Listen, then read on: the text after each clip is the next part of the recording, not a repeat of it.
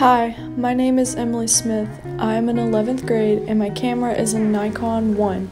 I have always had a passion for capturing life's moments since I was in 5th grade.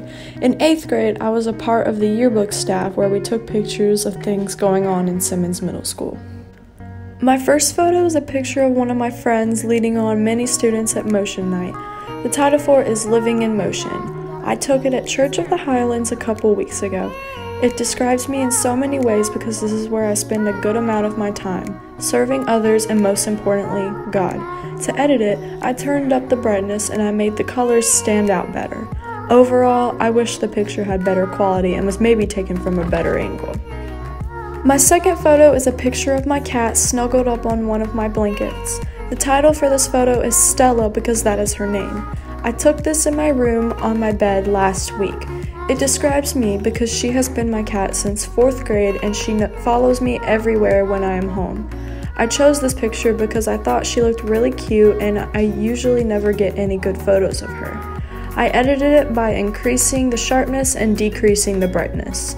I also added a standard filter to make all of the colors match in a warm tone. Overall, I am happy with the result. My third photo is a picture of one of my good friends, Sophie. There is no specific title for this image. I took it at Jayla's private pool last weekend. It describes me because I love hanging out and having photo shoots with my friends. I chose it for this assignment because it is a really good picture and I think she looks really pretty in this picture. I edited it by, ed- by adding a blue tone filter to bring out the summer aesthetic and I also sharpened the photo and decreased the brightness. All in all, I am happy with how this photo turned out. My fourth photo is a picture of one of my best friends, Jayla. The title of it is My Best Friend. I took it at her private pool this past weekend. It describes me because this is a person I spend most of my time with and she knows a lot about me.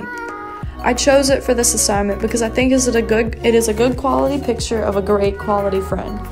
I edited it by changing the filter to black and white and I increased the sharpness while decreasing the light coming in the background. Overall, I am happy with the result, but I wish her tag was not sticking out on the side. My fifth photo is a picture of me and my friend doing a nature walk in Moss Rock Preserve. This photo represents me because I love nature and I also love hiking. I chose it for this assignment because this shows something that I like to do in my free time. I edited it by bringing the brightness down a little while also increasing the colors. Overall, I am happy with this picture.